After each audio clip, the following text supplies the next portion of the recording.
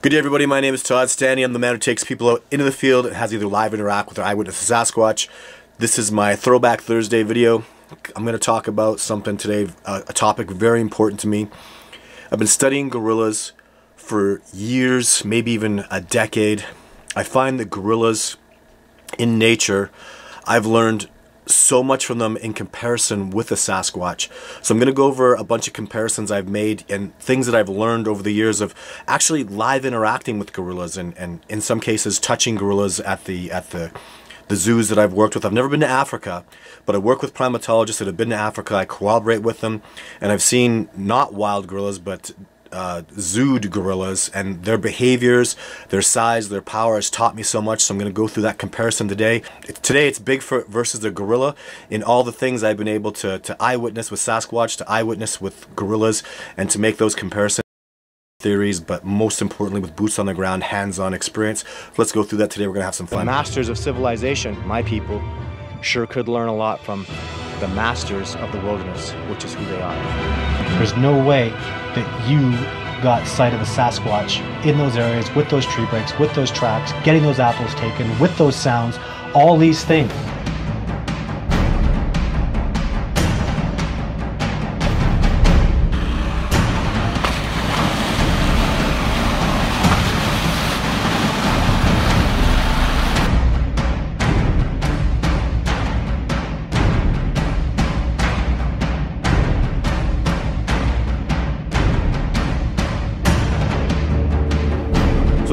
Some gorilla footage I have. So here's some some video of me years ago back when I had a beard and uh, a little bit different hairdo. I'm going behind the scenes now. Where I went, uh, this is Kakanga. He's a silverback gorilla, uh, a wonderful gorilla. You can see me here feeding him a carrot. Uh, I learned, my goodness, so much from him. So he was, this is Kakanga. He's the dominant male formerly at th this zoo. Now you can see as I'm behind the scenes where I'm really interacting with him. I'm, he's, he's interacting with me. You can see his incredible, monstrous hands right there. We'll talk about that in a few minutes. Even, even looking at, uh, look at the way the fingers are. Look at the way, people ask me a lot about the fingernails of Sasquatch. And I'll tell you, that's what the fingernails of a Sasquatch look like as I've seen. They're really dark black like that. The fingers are extremely similar. And of course, uh, a big difference, obviously, between a Sasquatch and a gorilla, though, is the overall size. From what I've seen of what Kakanga was capable of, which is immense and extraordinary, he is only half as tall as a Sasquatch, and his overall weight, as, as enormous as he is, is only 400 pounds. Whereas I've witnessed with Sasquatch, literally up in the areas of over 9 feet tall, and clearly over 900 pounds. There you get a good look at the uh, the fingernails very clearly. That's that's what I've seen in Sasquatch, and uh, fingernails are black. Even the way I don't know what he does to keep his nails nice and short because obviously they're growing. Whether he chews them or scratches them down, but uh, a tremendous amount I learned from Kakanga. So here's a set of skulls. Um, comparatively speaking, I'm gonna say that Sasquatch there you see a gorilla skull, obviously the biggest one of the group. Uh, the large sharp canines, I have not witnessed that with Sasquatch. But uh, one thing I see extreme similarities with is the hands. So the hands of a Sasquatch, my goodness, are absolutely enormous. And as you can see, it's very much the same here. In fact, I would say the hand size, surprisingly enough, between a Sasquatch and a gorilla are not tremendously significant. Here I'm holding, this is, this is what I'm very convinced is a handprint I received from Jeff Meldrum of a Sasquatch. Now we're not sure the age of this individual. I'm going to speculate that it's not likely either, a, it's not likely a fully grown male. But as you can see, this finger imprint is not significantly larger than that gorilla. And I, I would think, in, in my experience, I'm going to say this is probably a male, and I think he is about, just again, judging by what I've seen from the tracks, uh, with handprints, hand power, I would think this is uh, probably a, a 14 or 15 year old male Sasquatch. So I would say a male Sasquatch, from what I've seen and have experienced in real life, is about uh, 1.5 times as large as this. So pretty big hands, but not enormously larger than a gorilla like you would think. I can't say that I can have a co- relative comparison of power in hand power because gorillas are so good at climbing and their hands are so enormous and they're they walk in a special way because they're quadrupeds are not truly bipedal like Sasquatch and human beings are. But uh, I don't have enough information really, but even just speculating, I would think that a Sasquatch doesn't have an enormous hand strength advantage over a gorilla because they're so that primate power. But but that's not the case with the body and the legs, the arms, the chest. I I'm very convinced what I've seen with the tree breaks and the structures that the Sasquatch make that that they are not a gorilla is not capable of making the breaks that I've seen, and a gorilla is not capable of the power that I've seen tearing trees out and whatnot. And uh, that says a lot. So I say this quite often, and I stand right behind this. I'm firmly convinced that a Sasquatch is not only more than twice as large as a gorilla, but even likely more than twice as strong as a gorilla. And it's it's been demonstrated to me over and over and over again. So here we see a really nice shot of uh, Kakanga walking away, clearly quadrupedal, unlike a Sasquatch being bipedal, but the muscularity, uh, the the power, the the hair as opposed to fur that are just like uh, gorillas and Sasquatch. And here you see that gorillas drink. They have a specialty drinking device because they're highly intelligent, very easy to teach and and train and work with, according to the the zookeepers that I've met and the primatologists that I know. But things like gorillas in the wild don't make tree breaks, especially like Sasquatch do, an intelligent tree break that's directional. Here's a female, uh, obviously much smaller than the male, and uh, the the observation of sexual dimorphism, which means the males are larger than the females, increases the likelihood of being a, a male-dominated society, and Kakanga dominates his females to the point where they are very, very well kept uh, to the where almost in an abusive sort of fashion but we were allowed to have incredible interactions. As you can see here the with the female actually would reach out to us and touch us but only a specific female. Something else i learned about gorillas which is similar with sasquatch is some of them will come up to you some will be nice some of them you can you can interact with. And then another one comes along and she'll tear your arm off and beat you to death with it. And that was something that the primatologist made very clear to us that uh, you know there's particular individuals you can touch, particular individuals that will interact with you, and particular individuals that are just violent and will kill you. And that's just different personality traits. And you see that in even dog species, right? So, as you can see, so here I'm having the uh, having time to uh, feed the female, which was a really cool experience. Um, she was absolutely amazing. Really reminds me of a, uh, a female that I filmed in video for that uh, I call Jane, just in the fact that she has less of a sagittal crest, uh, less muscularity, less less body hair. In fact, so really tremendous similarities across the board from from female to female. So, and uh, you'll see that she's always she's she still has absolutely enormous hands, which is really really cool, and uh, but not nearly the body strength, not nearly the body power and uh, very feminine interactions. I find female dogs, female horses, female gorillas, and I'm assuming also female Sasquatch really have that tendency to be gentle and more nurturing, but but also kind of off in the back. I generally have more interaction with the, with the males than females because females are, uh, you know, timid. Like as you can see, she's always looking back, making sure it's okay with Kakanga that she takes the carrot. I think it's in a female's nature to be less outgoing and for boys to be a little more adventurous. Here's one of the many things I learned that was really, really a big game changer for me. So, uh, Kakanga, as you'll watch in this next video, you're going to hear him do a little, a little growl. So when I'd be feeding him, giving him a carrot, um, he'd make this sound that was very profound, even seemed kind of intimidating. But he wasn't trying to be like that. He was he was his way of saying, "Hey, I, I'd I'd like a carrot."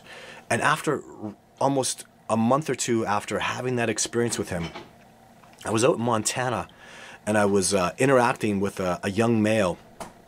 And I went out and I, would given him some apples, and then he came back and he was interacting with me off in the distance.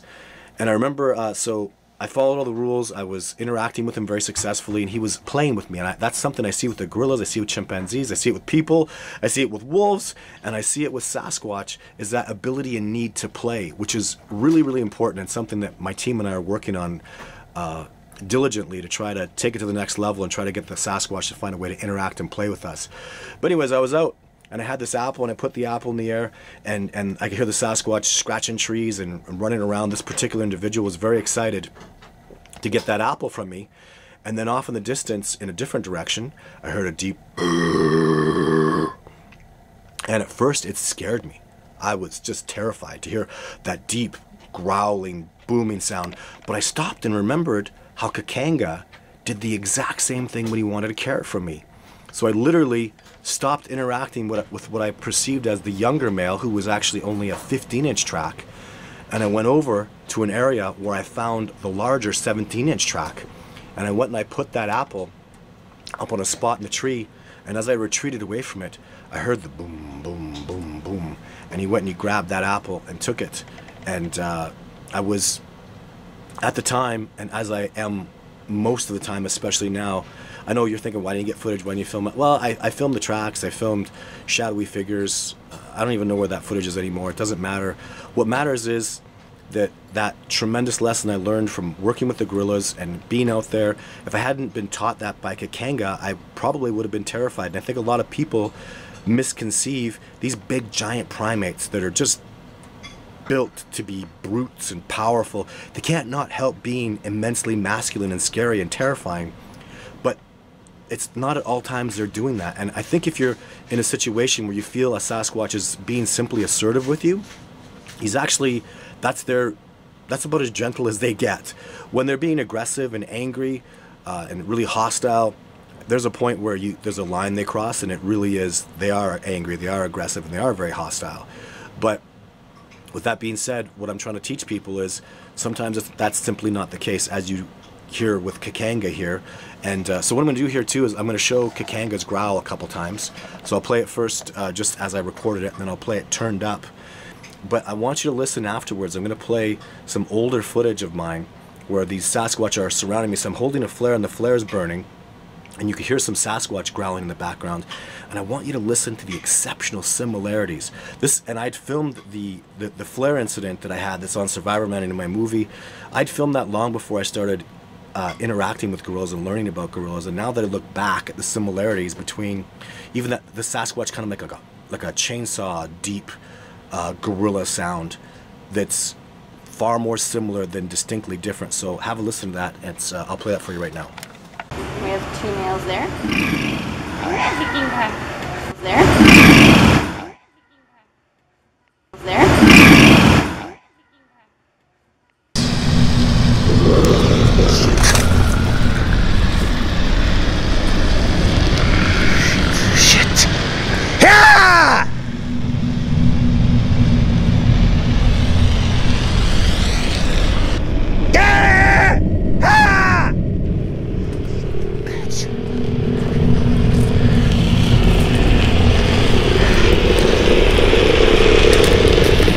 I feel in all the research and all the work that I've done, my biggest asset, the biggest similarities I've seen between uh, orangutans, chimpanzees, gorillas, is gorillas and and uh, and Sasquatch. I've heard I've heard uh, Sasquatch make sounds similar to chimpanzees, but not much. I mean, other similarities, but nothing nearly as significant as what I've learned from working with the primatologists that are specifically trained to work with gorillas, reading about gorillas, studying gorillas, and that's what I recommend more than anything. It seems to me that the, the, the best way to learn about a Sasquatch is to understand wilderness is number one, understand what it means to be wild, understand Native American culture, uh, people that were closer to wilderness, like the First Nations people and Native Americans. And then, secondly, again, it's that combination of they're a lot like gorillas and a lot like uh, they have a lot of similarities between what Native people did back in the day. So, anyways, let's get back to watching some more some of this uh, gorilla footage. This is a, a wonderful female that was uh, always playing and interacting with us. See, we're trying to get her to play and get her excited about playing, which was wonderful. You can see again her, her black fingernails, her enormous large hands, very, very powerful, excellent for climbing.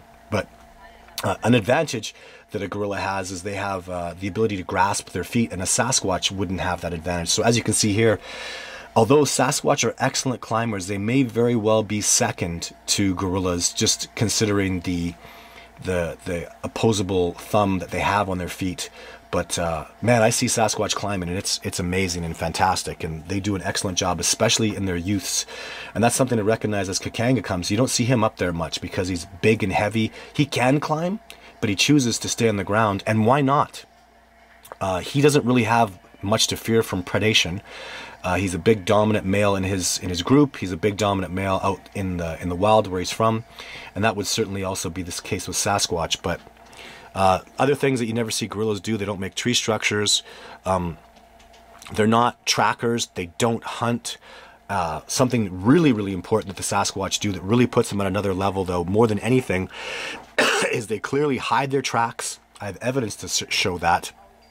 And they are not trackers, and they don't survive in extreme cold like the Sasquatch do. And all these things are going to make for an intelligent, more evolved species. But uh, other things that I've learned similarities between Sasquatch and gorillas, though, is in gorillas, uh, they smell extremely similar. Um, they when they're when a gorilla is upset, they have a tendency to uh, excrete smells. Not only not only is the smell of a gorilla very similar to a Sasquatch, but the way they excrete it. And what, what I'm saying with that is, I can actually smell if a Sasquatch is acutely angry at me, so he's angry at me in the moment, or if he's been smelling for a long time. He's going around. He's kind of cranky. He's kind of pissed off, and so and, and a Sasquatch might be doing that in the case of of where he's a, a male looking for females, or just just extendedly upset and angry about a certain situation. So I noticed that with the gorillas as well. Something you might find amazing that was great for me too was uh, gorillas and Sasquatch have similar, what I would call uh, beating you up tactics. So I've, I've been told by other primatologists that gorillas have a tendency to use like hammer fists and they bite you.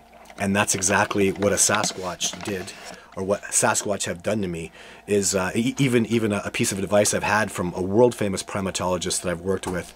Um, I was I was bit by a Sasquatch when, so they were picking on me and throwing me around like gorillas do to people, and kind of you know beating my ass, giving me hammer fists, just displaying their dominance over me, and. Uh, there was a time where one particular Sasquatch bit my leg, and I remember he was biting it. And as he was biting down, it was extreme pain. And I tried not to yell, but I noticed that eventually I did yell because it was just getting so painful. He was literally just crushing my calf muscle. And uh, as soon as I screamed, he let go. And the primatologist told me that's exactly the way gorillas do it. He said, We actually have a thing where so they'll bite you and they'll start making more and more pressure. And he says, The sooner you scream, the more likely they are to let you go. They just want to make sure that you're in pain and you understand the power that they have. So the next time I get my ass bit by a Sasquatch, I'll make sure to scream first and not try to play tough guy. So that's my Throwback Thursday video. Uh, just wanted to show my extreme appreciation and also something to learn from, from gorillas too that I really think is appropriate and amazing with uh, important with Sasquatch is people support gorilla research. And uh, the people that work with me and support this research, we are about the discovery of Sasquatch. That's why my movie is called Discovering Sasquatch and uh, or discovering Bigfoot. Sorry. And uh, so if you wanna if you wanna support that, if that matters to you, I am a full-time Sasquatch researcher. I have a Patreon account and just keep watching my videos, keep sharing my videos, share my movie. It's up on YouTube now. It's been on Netflix. It did the whole QuickTime, Amazon, Prime full run. It did really, really well. And I've, I've made sure that it's still out there, that it's accessible to people because it's a very important movie that talks about the discovery and what we are working towards. So thank you very much for tuning in. As always, there'll be a, a Sasquatch Sunday video. I'll be live on Wednesday and much, much more information to come. Don't miss this Sasquatch Sunday this week. It's going to be an amazing one. I'm looking forward to it. Thank you very much for tuning in, and I'll, I'll see you soon.